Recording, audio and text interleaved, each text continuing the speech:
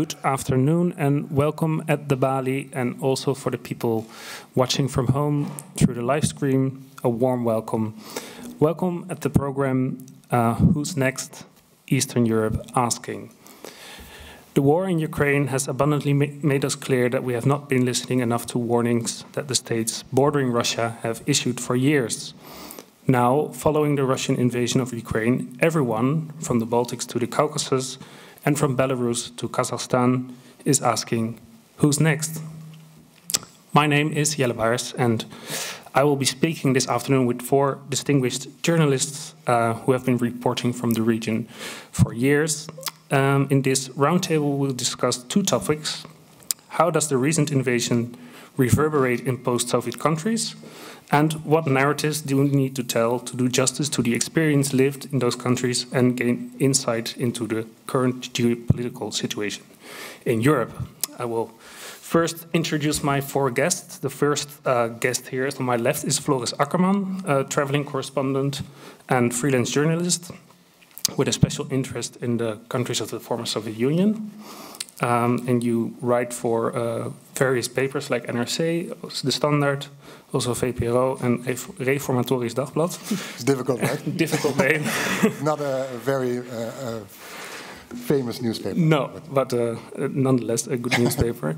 Uh, you just went to uh, Ukraine, right? Yes, uh, yes, You just came back. You told me two weeks ago.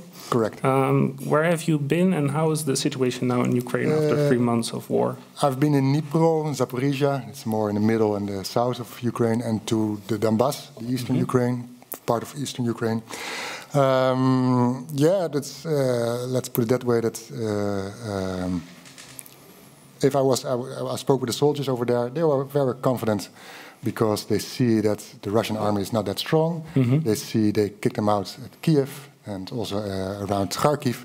So you feel uh, confidence on that side of of, uh, of the of, of, of this of this war, and they were also confident enough to we we are ready for a counterattack. So in this case, you see a lot of confidence uh, within the uh, although uh, these Ukrainian soldiers. On the other hand, you see all kinds of problems with fuel. You can only tank for 10 liters fuel, so you cannot travel from A to B in Ukraine very uh, smoothly.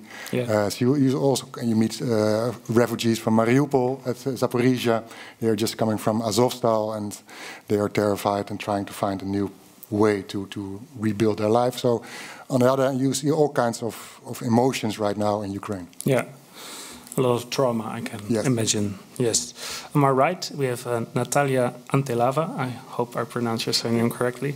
Uh, she's a journalist from Georgia, uh, former BBC foreign correspondent for the Caucasus, Central Asia, Middle East, India, and also Washington, D.C., right?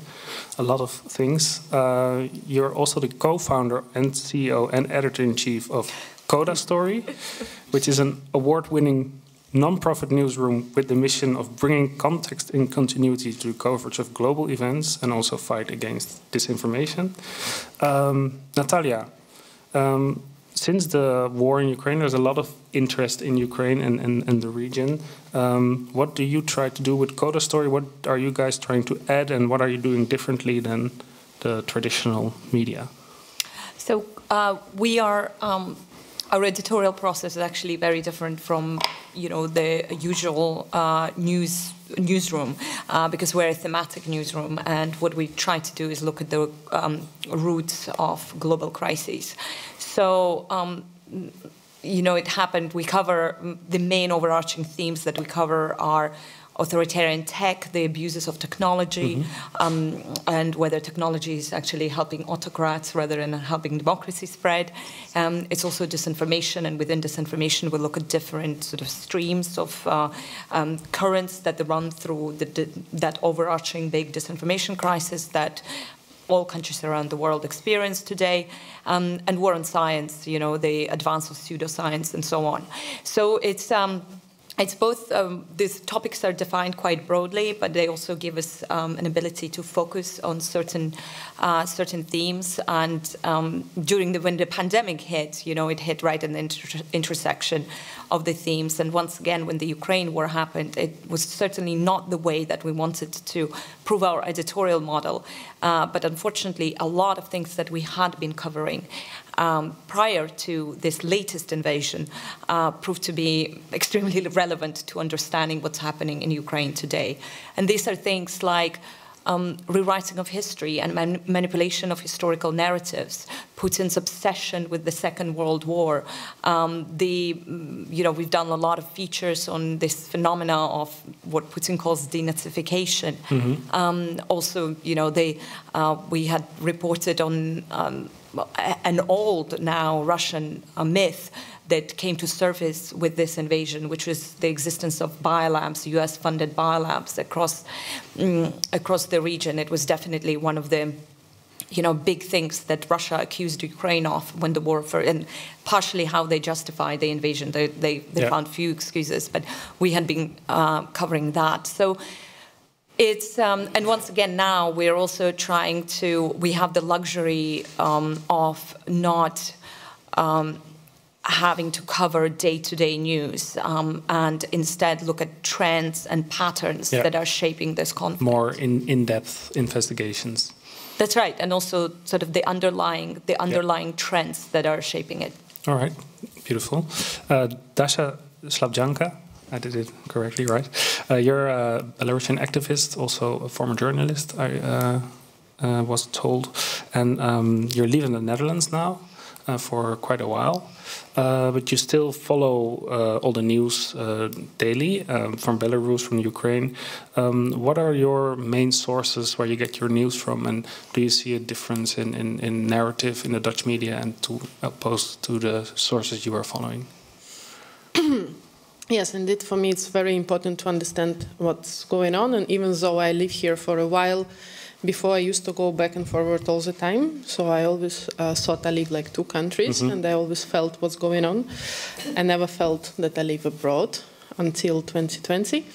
Uh, so now I, I read uh, different sources, but after 2020, Telegram channels became mm -hmm. extremely popular.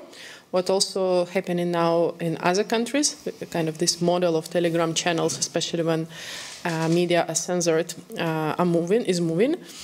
So my main uh, sources, uh, I, I, try to, to read everything because now it's almost impossible to, to follow all the news. But we have some Belarusian news that were uh, forced to leave the country, but mm -hmm. they mm-hmm. still have quite a good coverage.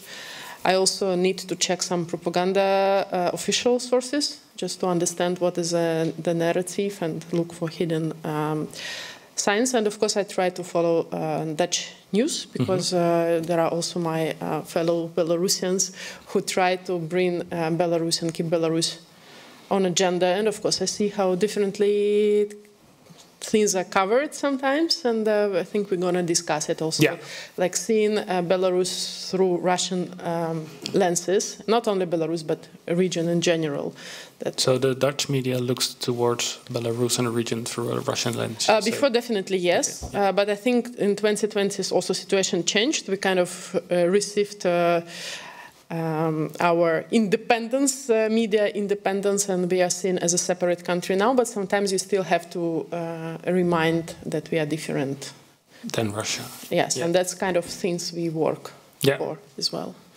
And then our last guest is uh, Franka Hummels, also a freelance journalist uh, specialized in, in Belarus. Mm -hmm. uh, and you work for Radio 1 and various other news outlets. And when you just graduated, you made a documentary on the youth oh, movement. Before I graduated. Oh, was it before? Yes. Oh, then my yeah. information I didn't look it up correctly. Yeah. But it was about the youth movement and opposition in Belarus. Uh, uh, we took two um, oppositional youth movements yeah. and also one governmental. Yeah. Uh, and we tried to show them to yeah in the movie that we made a documentary movie Yeah. Don't be slow. Don't be slow. And you wrote a book the generator, generator generatie, generator generation. Yeah, about people who were children when Chernobyl disaster happened, and in Belarus, it's still uh, even when the book appeared in 2011. Um, it was it was and is a propaganda dictatorship, so you don't have any information about what actually happened and how it still impacts you. So, how do you make choices if you know you cannot trust the government, or if you don't know you cannot trust the government? Yeah. So it's it's more like about society as well. Yeah. Like how do you live with such a disaster. Yeah. And did you see since the outbreak of the war in Ukraine, like a, a surge in interest also in Belarus? Yeah. Yeah. Yeah, of course, because well, Ukraine is attacked from Belarusian soil as well. Um, and it's then we've already in the previous program we already spoke about it, but that we have to distinguish between Belarus as a country, Belarusian soil, Belarusian regime, and Belarusian people. Yeah. Um, because Belarusian people hugely oppose this war, but the regime, well, facilitates it, is Yeah. definitely 100% complicit. Yeah. So that's um, so there. Yes, there is a lot of uh, extra interest for Belarus at the moment as well in Okay. Dutch media. All right. Um, well, let's start with a roundtable discussion, and I would like to invite you just to also react on each other uh, when you hear something you don't agree with or really agree with. Uh, Natalia, first real question for you. Um, here in the West, people seemed shocked by the sudden invasion. Uh, you're from Georgia. Uh, you had a similar experience in 2008. Uh, in Georgia, did people were also shocked? Was it also sudden, or did was it seen coming from Georgia perspective? I think there was an element of- shock just because of the sheer, sheer scale of this latest invasion. Um, I- think a lot of people around me did not expect that to happen. I mean, I got it wrong. I said it wouldn't happen. Um, it wouldn't. I, I was expecting an offensive on the Donbass, but I was not expecting the bombardment of Kiev. So um, there was an element of surprise and shock. Um, from the audacity of what Putin did. But at the same time, you know, it very much felt like, well, we had all been to the dress rehearsal of this, and not just in Georgia, and not just in 2008. I mean, we go back to the wars of the 1990s, where similar models were used by Russia. You know, these are pre-Putin um, years: Abkhazia, Chechnya, South Yeah. Ossetia, Transnistria. You know, all those frozen conflicts, frozen now conflicts that um, Russia uses, Russia created and has used to manipulate the governments um, and manipulate the, the, the countries that came out, were born out of the Soviet collapse. Um, uh, but you know, beyond the region as well. I mean, Syria is an example. That was a dress rehearsal for what, we- what we're seeing happening in, Yeah. in Ukraine as well. Um, so yes, I think it was met um, definitely with a lot of frustration. Um, you know that it was it was refreshing almost to see what felt at the time like the awakening of the West, um, especially in Europe. You know, sudden realization that oh yes, you know this this is serious and this is close to us.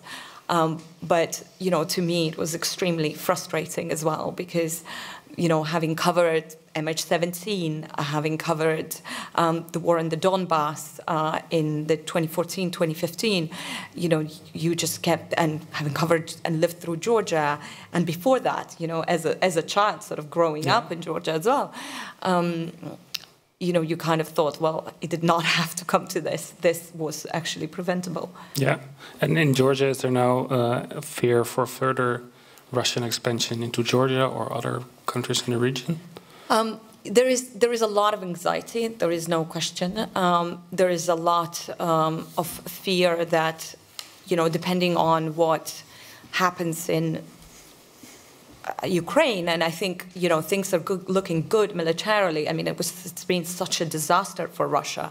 So, but if Putin's regime survives, and I think there's still chances are very high that it will survive because the military defeat does not necessarily mean the end of the regime, and we haven't got the military defeat yet either.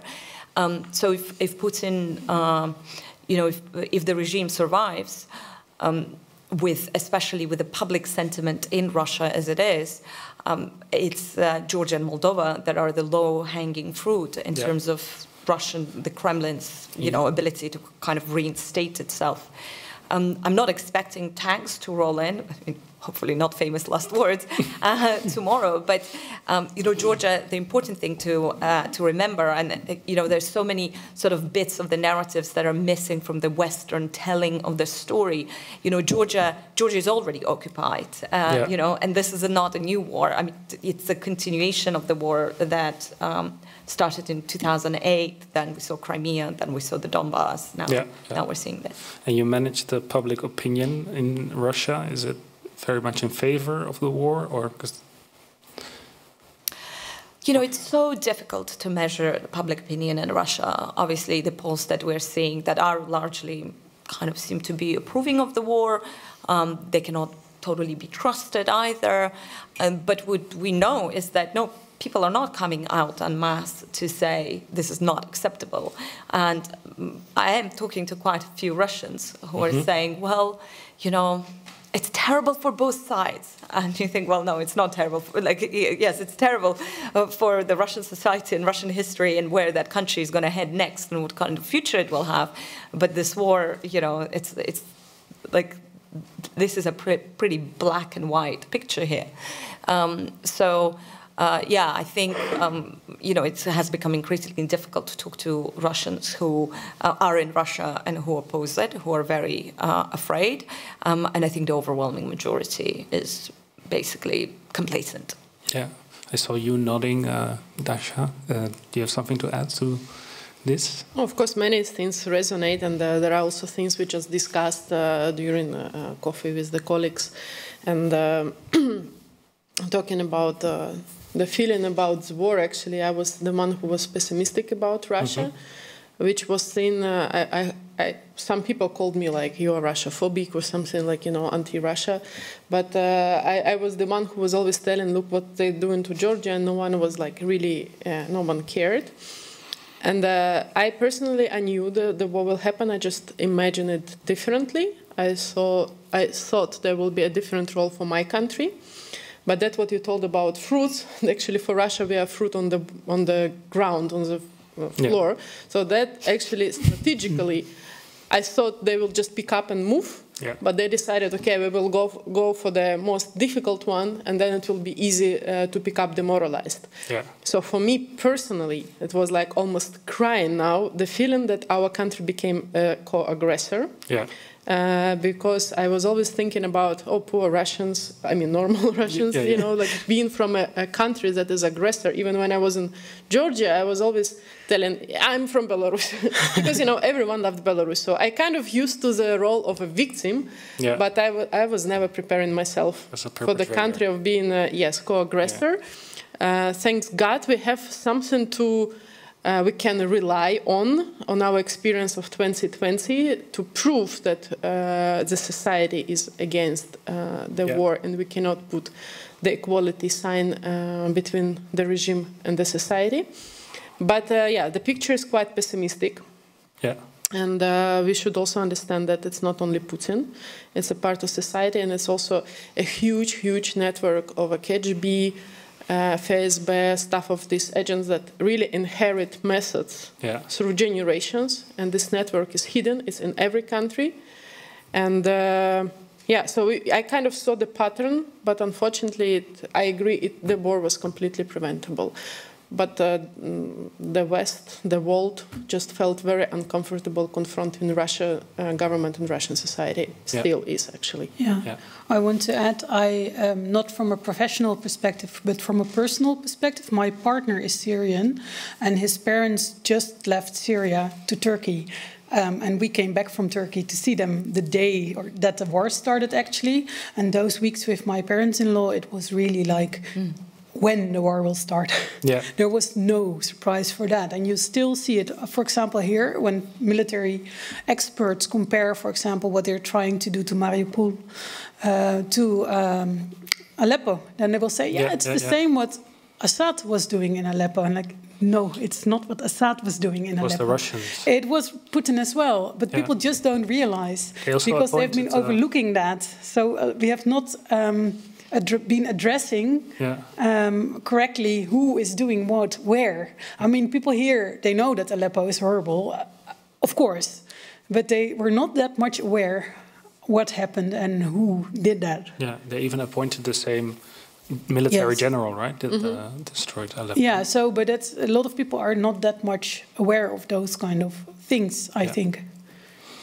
So let's move to another part of the region, Floris. Uh, September last year, you were in Armenia, um, and um, yeah, how how are do do the Armenians look towards the Russians? Are they afraid of the Russians, or They are not happy with the Russians. Um, but the Russians are present in Yes, Armenia? I visited Armenia last year in September. The, the year before there was the war with Nagorno about Nagorno-Karabakh against uh, Azerbaijan. Yeah, And um, you see, Armenia is totally depending, dependent from uh, Russia. It has no friends around uh, the country. Georgia maybe, but Georgia is too small to to to have great influence and to help uh, Armenia. So Armenia only uh, can only watch, can only see to Russia and asking for help.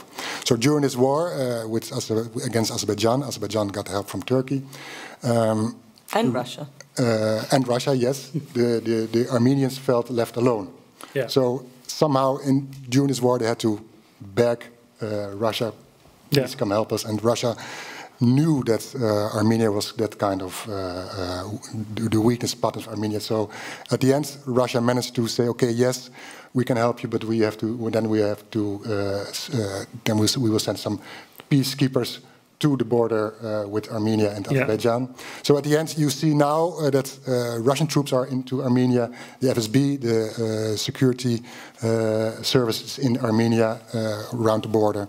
And the Armenians know that defense and security is now in the hands and the control of, uh, of Russia. So without making a war like in Georgia or Ukraine, uh, they now also control uh, Armenia. So also in this way, you see this imperial ambitions of Putin yeah. Into I see Armenia. some pictures. I think these are yours, Yeah, right? This is uh, uh, Forever Together. It's a sign when you uh, drive into Syunik, that's a province uh, within Armenia connecting with Azerbaijan. And as soon as you ride into this province, this region, you see, is, uh, uh, you notice uh, Russian soldiers, Russian military vehicles. So this is the, the way that uh, Armenia is locked up or connected now to Russia. So they were not all, they are they, they are not happy with Russia at all. Uh, but this war, they have also this feeling this, during this war uh, with Ukraine, of, uh, between Ukraine or uh, that's opened uh, Russia, uh, this invasion into Ukraine. The Armenians are also saying, where was the West when we needed them? Yeah. So this kind of mixed feelings are also around in uh, in Armenia. Yeah, but how? Yeah, how could the West help Armenia? Yeah, that's a difficult situation because Armenia is, is locked up into this. Uh, we are far from way, far, away from it, from uh, the European Union, United States, France. Um, so that's difficult. Now you, uh, Armenia is trying to have better relationships with Turkey, for example, because they know if we are too dependent from uh, Russia, we will get into trouble, and we have to uh, uh, spread our chances. So put that way. So, but on the other hand, you see also uh, the political stance of Armenia is they are kind of neutral. They are not voting against uh, or for uh, Russia in, into in the United Nations uh, Security Council. All kinds of of, of uh, decisions they want to make. Um, also, not into they are not involved into sanctions against Russia. So they are they know they're independent from uh, Russia, so they cannot push back Russia at all from their yeah, Yeah, I think it's a, it's a very different. It's a kind of a very different scenario in Armenia, and I, I hear that from a lot of Armenian friends in terms of not even where was the West, but like why didn't the world pay, pay attention when Yeah. you know we were at war just recently. Um, but I think what's the most striking, you know, Russia has always been a lifeline for a country that's landlocked, that's surrounded by pretty much surrounded by enemies, um, Azerbaijan, Turkey.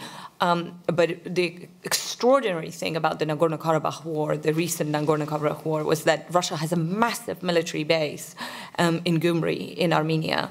I mean, a huge, huge military presence, and yet they sat back and they watched Azerbaijan take Armenian territories, and they did nothing. Yeah. They watched So until it- the moment that That's right. Armenia, Yeah. please help us. Yeah. So it was it really threw the country into this existential crisis where they realized that the only their only lifeline, Yeah. yeah, the only way out are is, actually is, is Russia. Yeah. yeah. And Russia knows it. So Yeah, yeah, yeah. And is this a pattern uh, throughout the region, like uh, maybe the Baltics, and the, wh- what is the, yeah, how, how how are they related to to to Russia? Uh, how the Baltics are. No, like throughout the region, is it a pattern that, that the people are really like of, afraid of, of the Russian influence, or are there also parts of the region that are more independent and stronger uh, against? Uh, Russian presence? Yeah, I think uh, look, I think everyone in the region is feeling extremely jittery about the fact that I mean, look at what's happening in Ukraine. This yeah. is like close to everyone, and I think there is a full embrace of the fact that you know. Like in Georgia, people just feel Ukraine is Georgian war, and in the Baltics, I think uh, people feel the same. Um, uh, but I think what we've also seen is, you know, the the, the Baltics are much closer to that resurgence of um, hope that you know, of the other sort of the, the, the war made a lot of things much clearer as well. Um, and um, I think, you know, what Dasha was saying, you know, Belarus, they've got it. Georgia, Russia's basically doesn't even need to invade. They can just walk in. Armenia, they have, and uh, given the military performance of the Russians, you know, these are the countries that Russia is likely to go for rather than the Baltics, because yeah. the Baltics, with, with all the NATO activity right on the border, I think, mm-hmm. in some ways, the Bal- and with you know the Scandinavians, uh, Sweden and Finland joining NATO, you know the, that that part of of the region is really sort of changing um, and going much more uh, you know, securely westward. Um, so has it united uh, the countries, post-Soviet countries, or is it like in together we fight against the stronger brother? Yeah, Dasha. Do you think it has? Yeah, because I wanted actually uh, to, to, to add something on this topic, uh, because there there there was and still is let's call it geopolitical victim blaming. And it started with Georgia when, uh, with the help of Russian propaganda, uh, Georgia was actually accused in the war.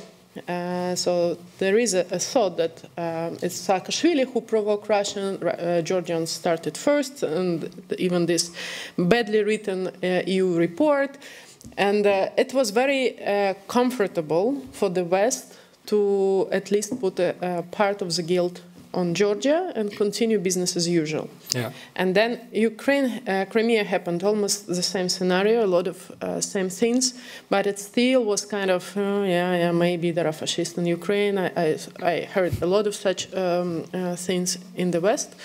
But um, what is important to see here that all these countries behaved differently with Russia but none of us, let's say, survived. Lukashenko, yeah, the same. Yes, Lukashenko was really like uh, playing a, a stupid uh, small brother, always like a, you know, to, to Russia, like uh, very naive, stupid people give us money. Didn't help, like you know, like we were selling, like not we, he was selling this kind of love Armenia when uh, the revolution happened, and um, they, they tried their best to stress it's not a geopolitical revolution. We are fed up. Corruption was there, just enormous, incredible corruption. People really couldn't live anymore. So that was really not a geopolitical revolution. And um, Pashinyan, the president, before he was quite pro, pro-European, but when he went to power, he, he, he made the, his best to keep low profile, you know, like, and be kind of friends with Russia.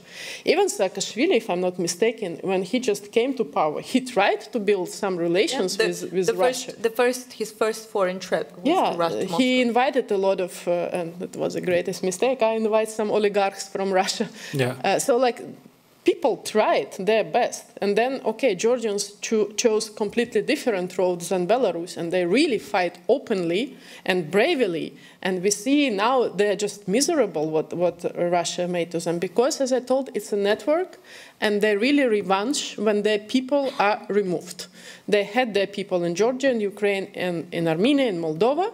And if you take their guys out, doesn't matter how you try, they will come and revenge for this. So that's um, that's important thing to understand that there is no one to blame. You cannot blame the country. You cannot blame NATO. Yeah. It was a Russian plan. There, are, there, there is a pattern how Well, I don't know about that. I mean, you can no, always you can find put someone to blame. No, I would, I would put them, let's say, A lot of things responsibility. could have worked out differently. No, differently. but I mean, no, I mean, you know, people kind of blame NATO for spreading, you know, but For uh, expansion. yeah, for Yeah. expansion. Uh, but I would put, mo- let's say, responsibility on the West because definitely it was um, preventable. It was possible to press on Russia. It was possible to put borders in relations.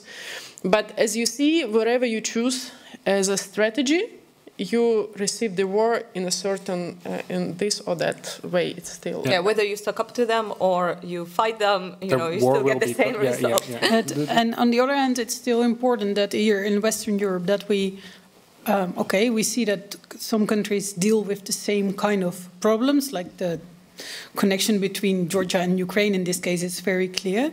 But we should not think that this, what you often hear also here in the Netherlands, like those kind of countries. Yeah. I mean, yes, they were all part of Soviet Union, but Yeah. I use this metaphor that if my pocket is picked by some pickpocket and yours too, it doesn't make us siblings. No. So, I mean, it's post-colonial thing Yeah. as well. And Ukraine and Georgia are not the same, Belarus and Georgia. So it's really important for us here in Western Europe to look precisely. And yes, we should see the similar- similarities in problems, but we should also see the differences Yeah. and be aware of that continuously. And is that uh, um, that we we have not been aware of that? Is that also to blame maybe on, on, on the you already said it the Russian lens, the media, our media hand? I think it's, it's, it's a big difference. uh, What I, if we in the West, we see Russia as, as different than Georgians and uh, Yeah. uh, uh, Belarusians, etc., because we don't know they this is their neighbor, Russia. Yeah. They know what Russia is capable of. They know what Russia's plans are. We, as, as the West, we have NATO. We think we are safe. So, in that perspective, we cannot imagine so far until this war what is what is to be to be a neighbor of Russia. We don't know what kind of power such big country is, is around us. Yeah, but it's, it's also so misguided, right? Because we have seen plenty of evidence of how powerful Russia is and pushing its narratives through very local um, channels that exist in different countries. You know, whether it's you know Italy, the far right groups, the, the the far left groups Yeah. in the West, and so on. So you don't actually have to be the neighbor of Russia in order to. Uh, m- experience its destabilizing influence. Uh, there is plenty of it, you know, Yeah, uh, far away too. So far, yet so close. It's, it's Yeah. exactly the title for us. It's so far, and until this war, it's becoming close. Yeah. Yeah. So that's that's Right. the difference between But why living is there, with uh, we had the luxury that we could ignore this evidence. Uh, except, you know, arguably, you know, if you consider MH17 Yes. to be course. Holland's 9/11, Yes. you know, this, No, no, no. this, has happened. It We has are going to cost- pay for Russian it, yes. missiles have cost Dutch lives. Yes. So, We and prefer still, gas. and still, yeah. But why is there so? Because you're you're telling us there were so many examples already, so many stories of how you could see that how Russia is destabilizing the region and uh, international order. Why did we in the West had so little interest in it? Is that uh, a role of the media, or, or is it political, or Uh, because we, we were always thinking about this Russian perspective through this Russian lens. If we want to have business with Ukraine uh, or some kind of negotiation, we're always thinking, what will Putin do? What will Russia say? So we have to get rid of this kind of, of thinking Yeah. and just take Ukraine, Belarus, the Baltics, uh, or Georgia as an independent country. That's, I think, the biggest mistake we made in the last since 1991. And Yeah. I, I guess language, in a way, is also a handicap in that sense because uh, it's really nice if journalists speak the language, and the language they would speak is Russian. They would work from Moscow, and of course, you can work with Russian in Belarus or Ukraine, but it gives you a Moscow perspective. Um, and some people, I mean, for example, Floris is a good example of someone who has always been aware of that, but a lot of correspondents are not that much aware. They think from this post Soviet perspective, Perspective, um, and they use Russian without hesitation, for example, even in Georgia, um, which is not a good idea. And um, so that's, I think, in this way, the language, knowing the language, which I really think is important, is also a handicap. Yeah. And also is a handicap to our information in the West. Yeah, it's it's not it's cultural as well, right? Because I mean, if you think about it, how much of the Western world relates to you know, Caucasus is a very obscure place for most mm -hmm. people in the West, fair enough. But the way they relate to the Caucasus is, say, you know, through Lermontov's writing, right? So that Russian prism is, for reasons that are understandable and justifiable, are extremely um, strong.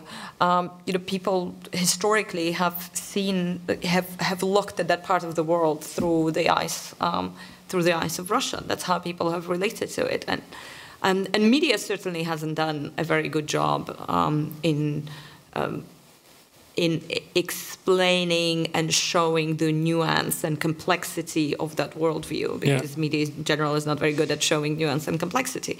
Um, so, um, you know, I mean, when the war when when the war started in February, you know, it was really striking how across the mainstream media this was, you know the invasion, the war has broken out, and you think, well, no, that has been going on for eight years. You know, there was absolutely no kind of hind, uh, there was no sort of uh, awareness of continuity of yeah, uh, war. The war started actually in 2014 when they invaded right. the Donbass. Yeah.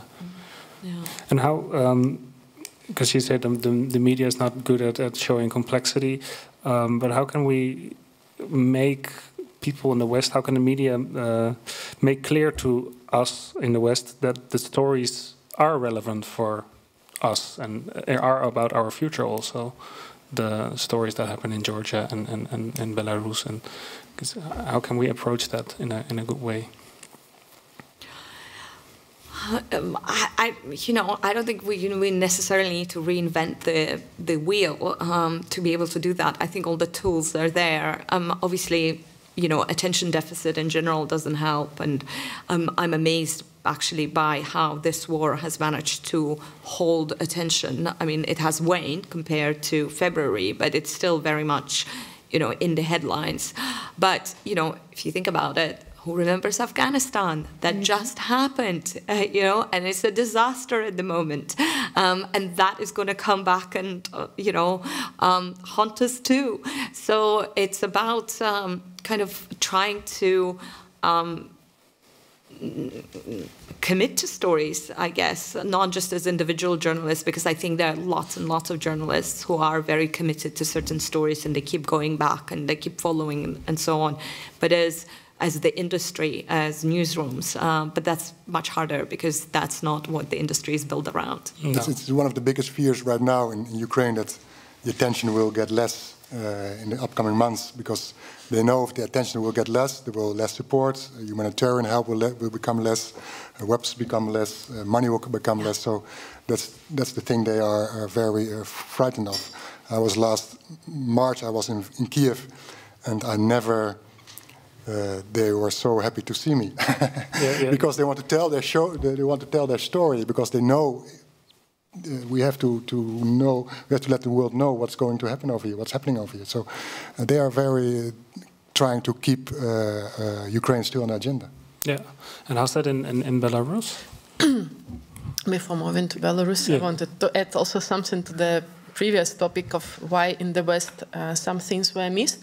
I remember I was here on one uh, discussion, I think Khodorkovsky was here, and there was some Russian, for me, so obviously aggressive propaganda woman. Like I was like, okay, I, I, you can see them on Russian TV like regularly every day. And then I told like my friend, Dutch friend, oh my God, what she's doing here in this country? She works for the embassy or what? And he's like, no, it's alternative opinion. We cannot shut up these people. We should listen. And that's you know. And then I realized that what is obvious for me, she is not alternative opinion. She is a weapon.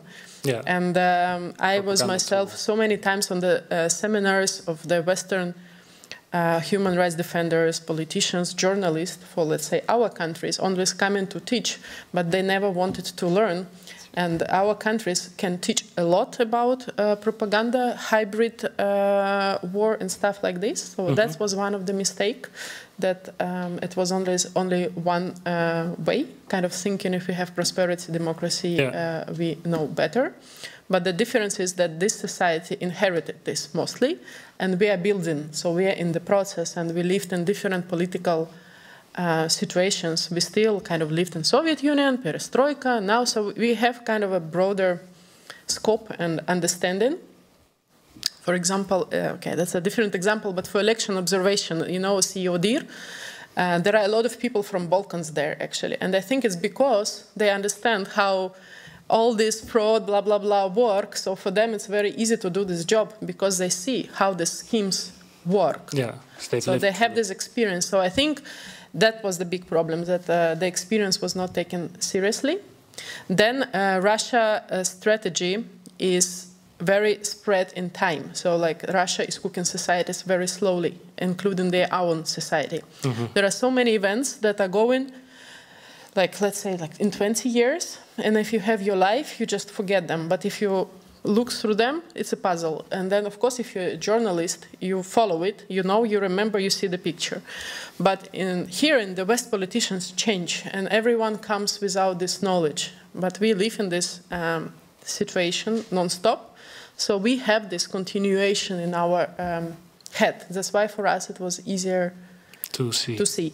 And the third thing what Russia is doing to our region, let's say, not allowing us to be friends between us. So all relations we have are through Russia as well. So there are no direct close connection, even between Belarus and Ukraine, the closest ones. So now we realize Ukrainians know nothing about us. So that was how Russia was keeping us um, apart, keeping us in conflict, there are some issues between Georgians and Armenians, Armenians Azerbaijan, so that's how they wanted us to be um, fragmented. And um, that, that the, the problem also why it happened. And what was about Belarus? uh, I was I was uh, wondering because we were talking about uh, what what Flo said. Um, the the Ukrainians are very happy to to that journalists are coming because the attention ah, is yes. still going on. Uh, but uh, how? Because uh, Belarus, the the the elections were like two years or one year ago. There was a lot of social upheaval, a lot of interest. But now it seems to have well, you don't hear anything about Belarus now in, in, in, in the West. So how can we, yeah? Uh, unfortunately, we still do in a way that uh, uh, that that's a very uh, good question. We, as a journalist or journalist-related people, have to address ourselves and to our societies. How comes uh, when we have very good news coverage? people's memory and actually journalist memory is so extremely short. Because I think uh, from 2020, also with the help of Franka, Floris, other journalists, I think Belarus was extensively covered more than ever in media, and we were like, oh, this uh, courageous people, everyone understood, Tikhanovskaya, everyone knows. So I was like, okay, now everyone knows Belarus, everyone understands. The war starts, and then you see Belarus uh, attacks Ukraine. So uh, Lukashenko is the president. It's kind of these two years of work was just disappeared.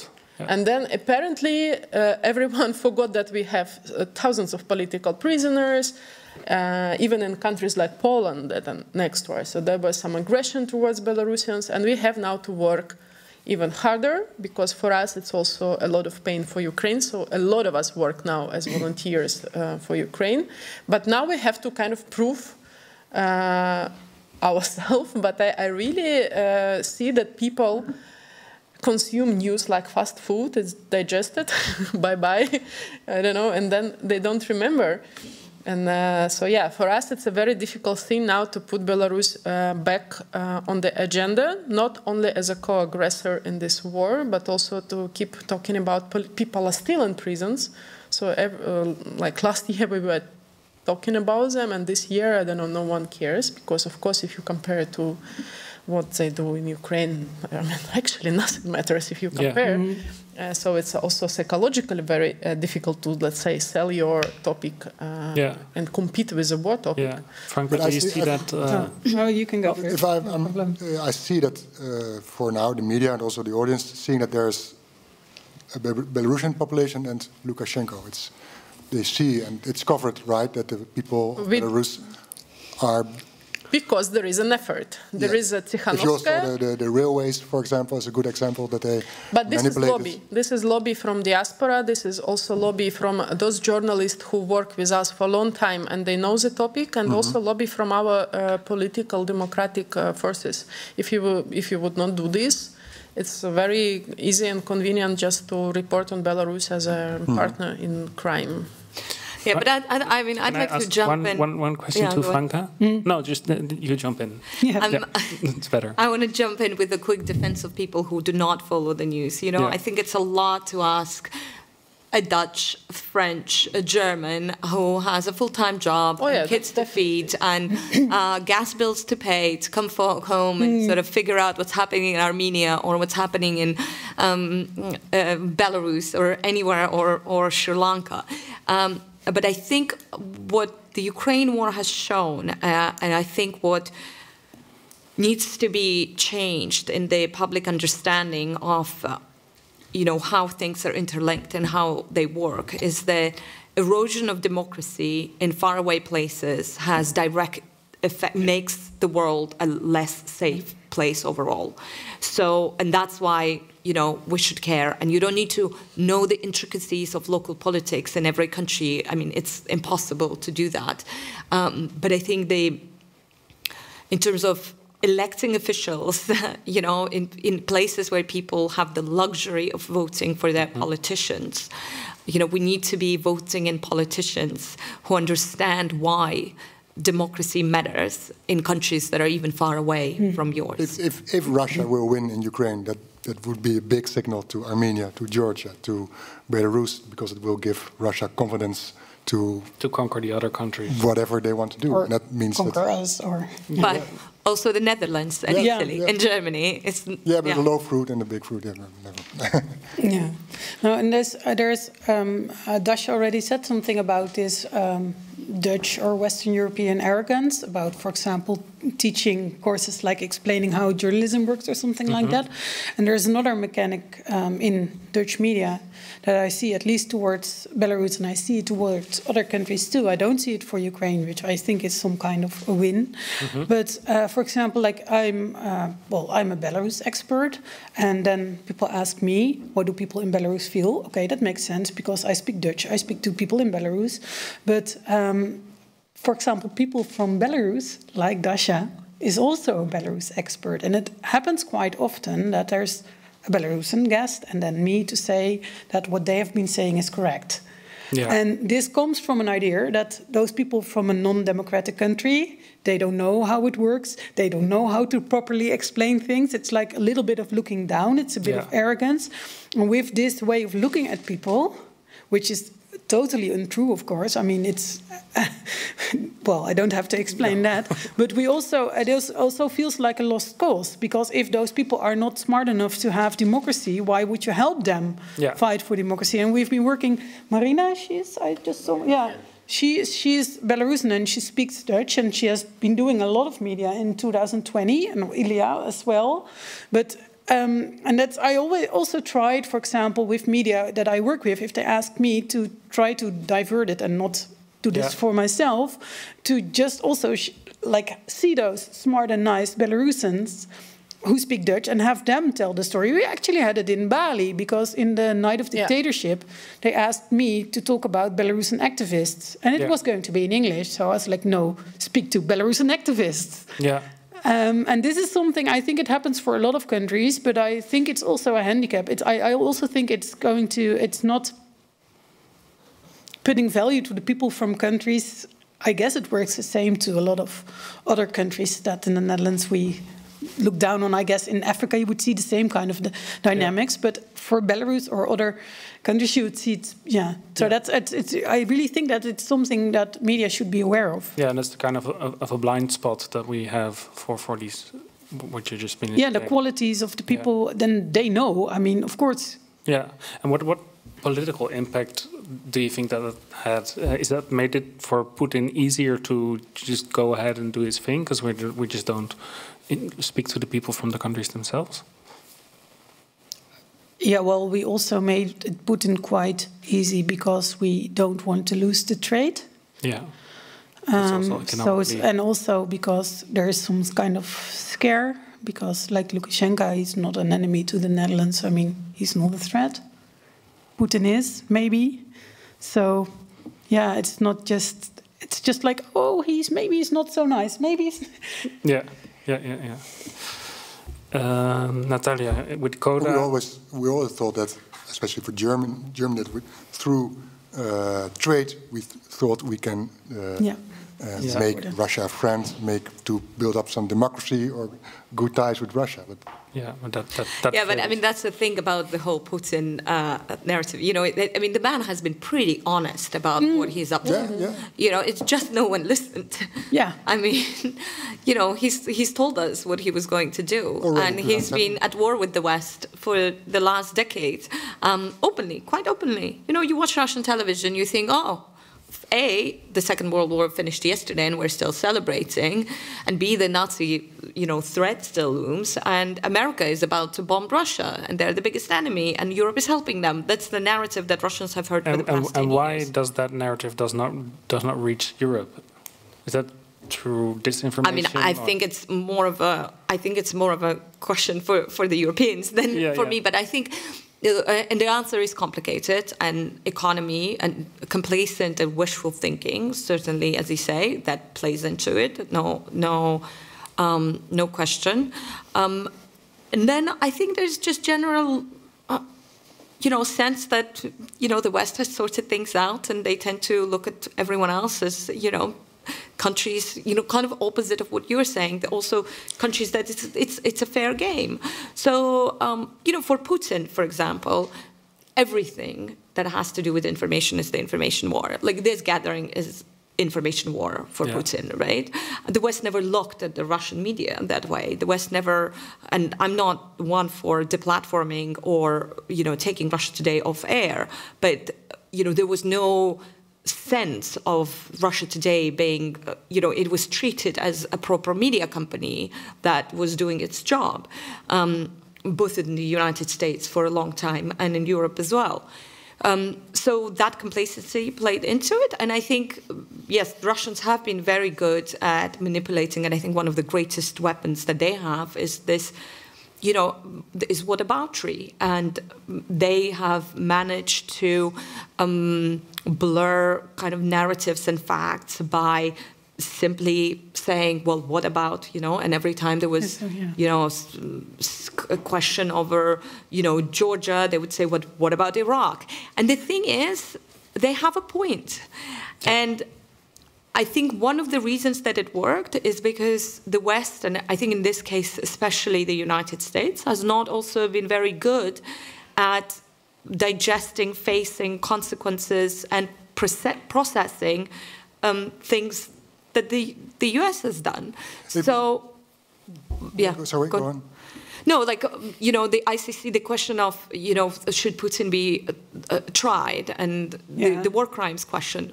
Well, Putin is going to be saying, well, What what, about about, Bush? Iraq? And what Bush- about Bush Bush? himself and this even is made going this to, gaffe. and this is going to resonate with Yeah. a lot of people in the West Yes. for a good reason. And also so I outside of think the West. kind of But then like- it, it's also this uninformed thing because one of those memes that clearly came from Russia, it actually said, "What about Syria?" Like, um, like this is like really the the what about trick uh, in total. yeah, it works.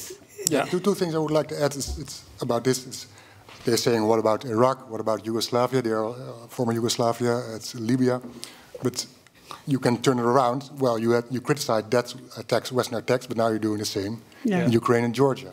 You, Uh, yeah, but that- it doesn't work it- if you does- turn it it around that because the, that puts you on a defensive. And Of Putin has been, in, when it comes to information war, Putin has always been on the offensive.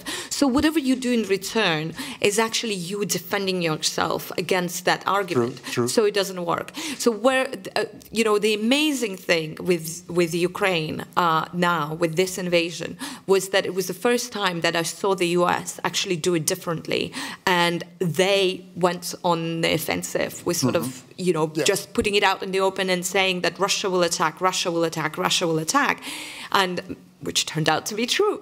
Um, and uh, you know, but it's it's not what Western democracies normally do. So I don't know whether it's sign that No, I think the they US learned has from, learned, they learned from or the past. Yes. um, that, that it seems to be a sign that they've learned in the past, Yeah. uh, past. But the rest of it, it's very much kind of the, it's very much on the on the defensive. And once you're on the defensive, you know, you That's can't, difficult. you can't win. It's a, the second thing I would like to add is you, you saw, see it al- also in discussions in Holland when you talk about this war.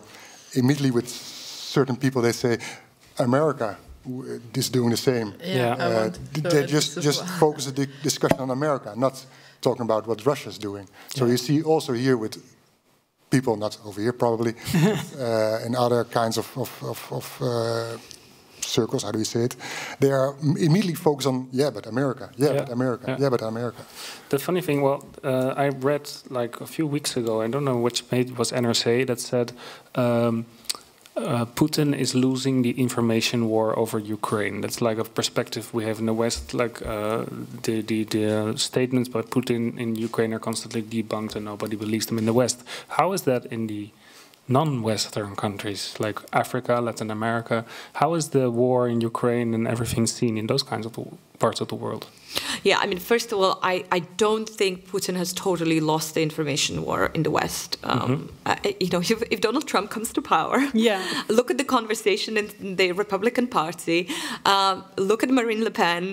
Uh, it, it, you know, there are a lot of people who voted for her. So, um, you know, the Russian ideologues go on Italian state, the public television. So I don't think the war is completely lost. And the whataboutery being the most, you know, potent weapon in terms of kind of saying, making people say, well, yes, they're doing it and it's horrible, but, you know, and that but really, um, and, you know, to me, what I always say to people is, well, yes, that's true, but you don't go to your, I don't know, friend's father's funeral and say, I'm really sorry, but you know, my father died two years ago. Like that's, um, but the, um, but one thing that we saw very clearly happen in um, uh, uh, in the sort of uh, the immediate um, aftermath of the invasion, because we, you know there, there was definitely a moment when Putin lost a, a battle, not the war. Uh, partially because he's been saying he wouldn't do it, he wouldn't do it, and then he did it, and he kind of made a bit of a fool of himself, and everything became, you know, black and white and pretty clear. Uh, but almost that? immediately when he invaded, having said that he wouldn't invade, when he invaded, you yeah. know, he and Ukrainians did an absolutely marvelous job with being sort of not not even giving him even a hint of any sort of provocation, right? He couldn't have. There was no nothing to hang this yeah. on.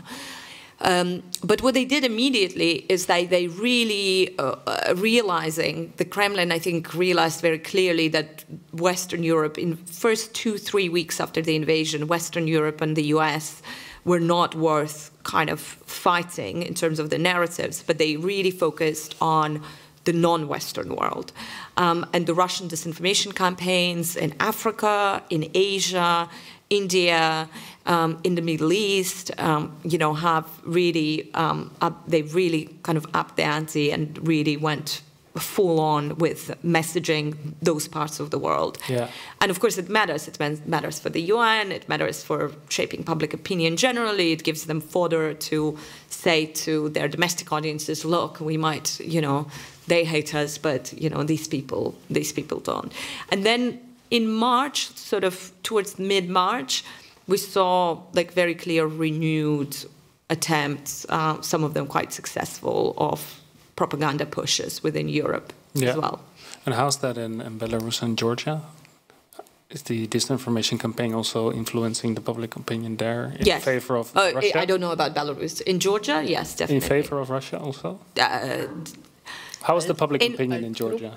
It's you know it's very you know, the Russian disinformation doesn't need someone to favor Russia in order to work. Mm -hmm. It needs to sow doubt and make you not favor U Ukraine or the other or the West. Like that's all that's necessary, and that's quite easily achievable with the means that the Kremlin deploys. Yeah, and is that the same in Belarus? In Belarus, situation is uh, a bit different uh, because we have propaganda uh, whole our life, like recent life, modern mm -hmm. propaganda, let's say. What is interesting that people learn how to get information out of propaganda um, content.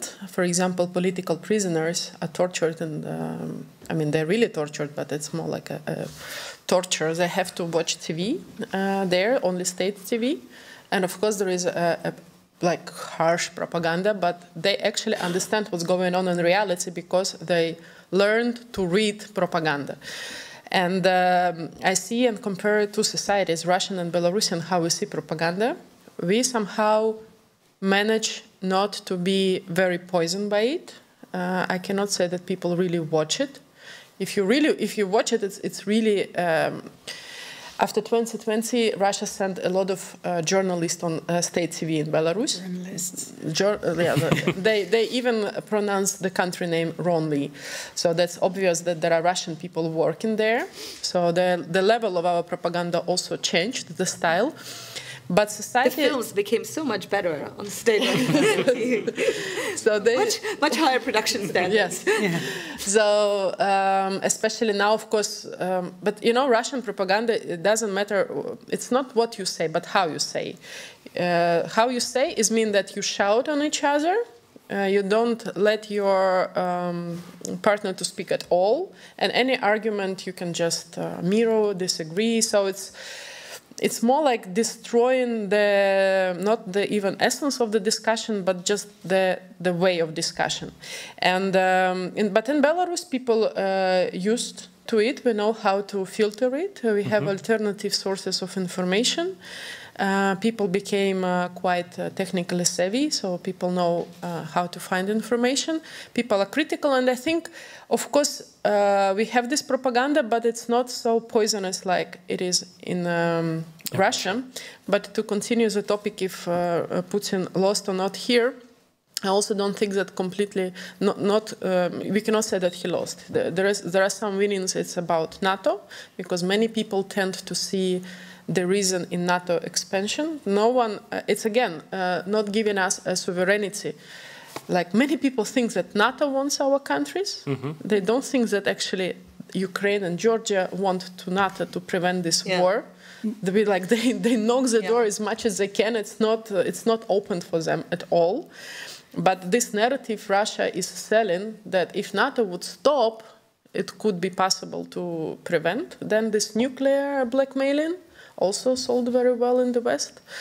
And um, uh, another narrative, I think maybe it's more for Germany, that there should be peace agreement between two parties, mm -hmm. kind of seeing that it depends on Ukraine as well, that Ukraine have to compromise when it's clearly um, the situation is very Russia. clear. Yeah. Ukraine has nothing to compromise. Ukraine has to win. There is, cannot be compromise. Ukraine should, should not compromise territories.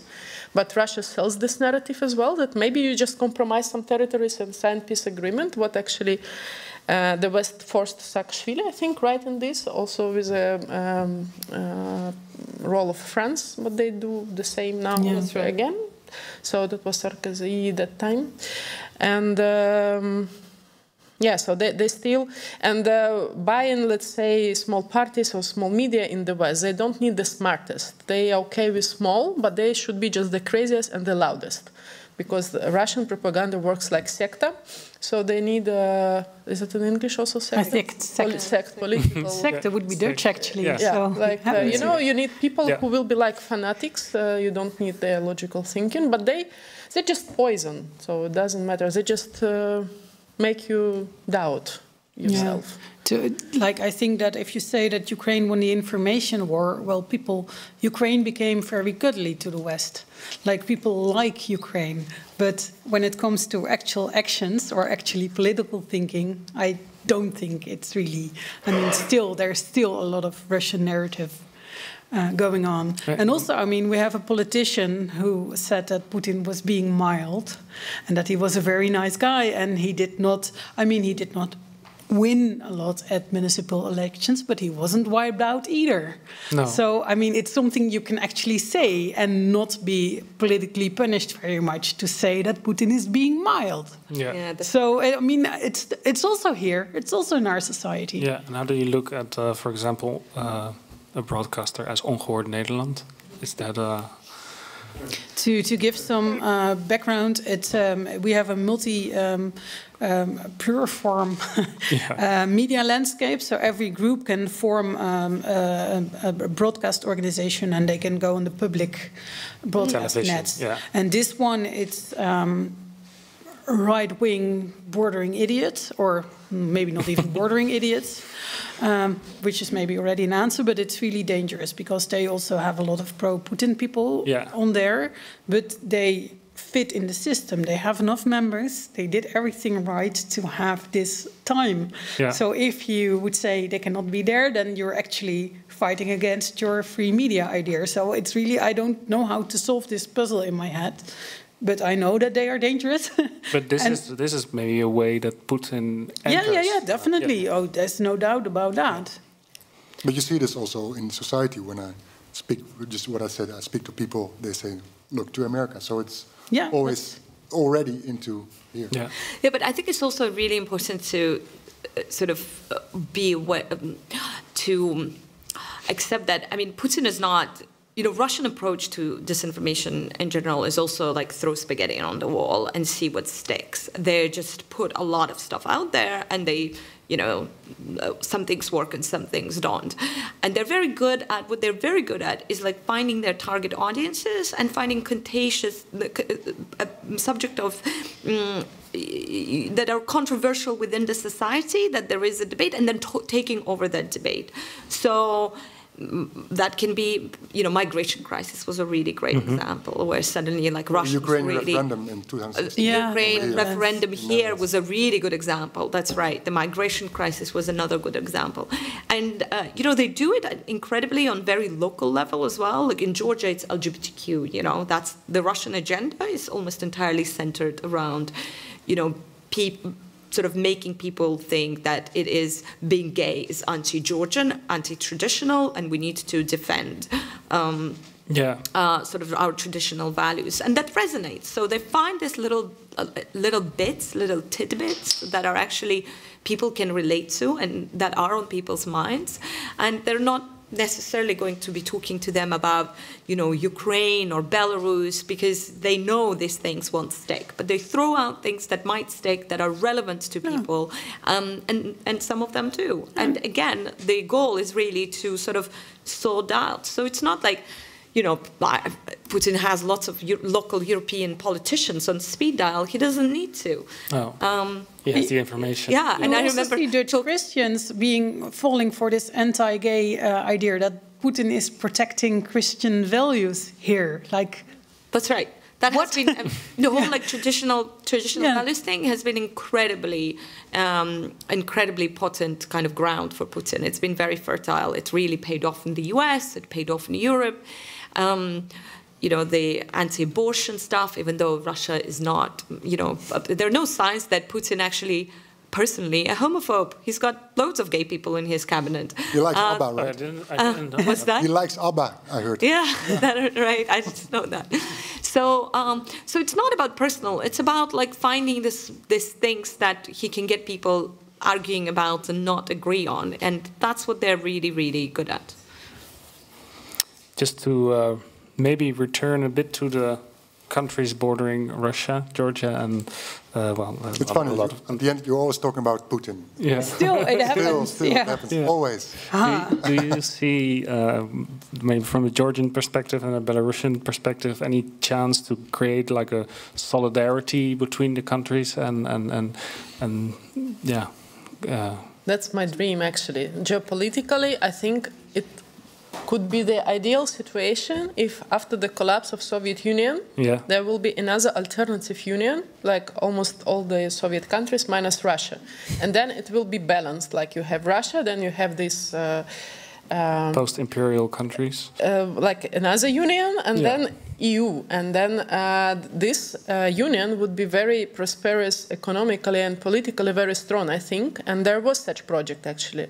It was called Baltic Chernomorsky Soyuz. It means Baltic Black Sea Union. There was such project, but of course, uh, like also Russia did everything to um, diminish it, and everyone was busy with own uh, problems and unsolved um, territorial and some historical issues between countries. We just didn't have time to solve them, Yeah. talk, to discuss, to reconcile. To, we didn't have time to develop our identities. I think if we were not, if we were not disturbed, we could come to this point in a, in a way. And uh, I also think it would be good for us because Uh, now Poland is getting stronger in uh, its position in the EU due to their role uh, in the war, how they mm-hmm. help in the conflict, also Lithuania. But before they were still seen kind of not as a um, same as the West Other, West yeah. countries, so they were quite. So that actually was my. I think uh, if we would uh, be united, uh, would be perfect situation. And um, yeah, maybe in a way it's possible if we will do it on the uh, human level and also on the level of um, uh, opposition or democratic um, people. I don't know. Security, maybe also.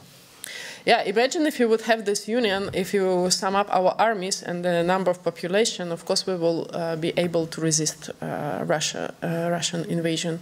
Even if Belarus and Ukraine, mm -hmm. if unite these two countries, it's already enough uh, to defend ourselves politically and uh, military, but unfortunately, this is how this. Um, that's that's a very uh, important thing for the future. That it's not only to change the Putin because there are people behind them, and I don't exclude that they might even uh, try to remove him to not to lose money. Kind of, you know, we have new democratic liberal Russia, but um, we should not be blind because even if Putin uh, will be out, there are still people. Um, behind. Yes.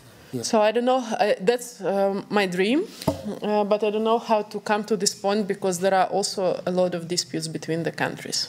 Yeah, to to add, like Putin, if if he if he will vanish somehow, it's maybe there will someone next. But it's also into the population. There's also lots of people who have this imperial ambitions and think that we are great Russia. So also within the Russian society, there has something to change to to get uh, uh, have a friendly uh, relationship with their neighboring countries. So it's not only Putin; it's also within the society. There has to be some kind of, like in South Africa, some kind of Waarheidscommissie, or some like uh, in Germany after the Second World War, some kind of healing process. Reconciliation. Yes, that yeah. that somehow they have to think by themselves. Well, uh, this we have to go to another direction, yeah. into another road. One thing I um, maybe to conclude, um, I saw um, from Coda Story this you, you had this uh, three episode documentary, um, and there's one priest I think he says um, Russia as a united country cannot live on. So after Putin, it will disintegrate. What do you guys think? Is there if Russia loses this war, is there a, still a Russia, or will it fall apart in? In, in different bits. I mean, let me let me get my crystal ball. yeah. It's under the table. Um, a look. That's a nice dream, but let's look at the map. Yeah. Let's just look at the map of Russia. It's not. It's not. Don't look anywhere because it's not here. Oh, it's there. Just look at the map. like that is a problem. like unless Russia changes, uh, things will continue to be extremely problematic. So mm, while I, you know, I'm with you, I like to dream that too. you should The be. reason why we keep going back to Putin is because he's got us all hostages. Like mm. we are his hostages. That's why we keep talking about him. And it's not. It's not. It's become. It, I'm using Putin as a collective name for the Kremlin establishment because there is absolutely you know, no, no, people in Russia are not outraged about. Most people in Russia are not outraged about Russia's colonial ambitions. And most people outside of Russia are still not talking about Russia as a colonial power. They're talking about Russia as a big country that has a backyard and legitimate geopolitical interests. You know, that wouldn't fly with the United States and United it wouldn't Kingdom. fly with the United Kingdom or it wouldn't fly with Europe. But it it, it continues to be that is the narrative, and it's the narrative that is you know exists in Western societies that has to change, and it has to change among the liberal Russians as well, because you know when most liberal Russians I talk to, they don't think of their country as a colonial power. The way they relate to the Ukrainians, the little brothers, the Georgians, oh, basically a restaurant. Yes. Um, so you know, Belarus. Yeah. This, uh, this how I feel as well. Yeah, you know, Kazakhs, you know, oh, those wild nomads that we tamed, you know, all of that. And, and, and that extends to liberal Russians yeah. as well, who also need, and, it, it and, and the, the Western societies need to think about it not as a this is where Dasha is right. The NATO argument is a really you know most sort of potent weapon in Putin's arsenal um, because in the West, you know, Putin has successfully sold the narrative that Russia feels threatened. And somehow that narrative still dominates today that NATO is a threat to Russia. Yeah. I mean, look again at the map. Yeah. How is NATO a threat to Russia? So Russia is a threat to the this, world. This idea that, like, uh, also a lot of Dutch people say that, yeah, but Ukraine used to be part of Russia, yeah, and the Netherlands used to be part of the German. I mean, I, yeah, it might be true, but and that Spain. doesn't mean that it should be. Yeah. Um, yeah, again, I mean, like understand, let's understand, why, like Russia, yeah. poor Russia, you know, they're defending their interests. I mean, look at yeah. look at them. And they and they have culture. They do. Mm-hmm. but I'm, you know, I, I, I think you're absolutely right. I think all that process, like that process, Russia, Ukraine, not only Ukraine needs to win, but Putin needs to lose in Russia as well. And I'm pessimistic, unfortunately, um, about that. And that process of kind of rethinking that has not only not began, but you know, the Russia has been thrown so far back into sort of that almost Stalinist thinking about itself. Yeah. All right, uh, let's conclude it here. I will finish uh, the program for the camera, and then afterwards we can have some uh, audience questions if there are here. Uh, I want to thank you very much for watching, and we hope to see you next time at the Balie. Uh, warm uh, applause for my guest.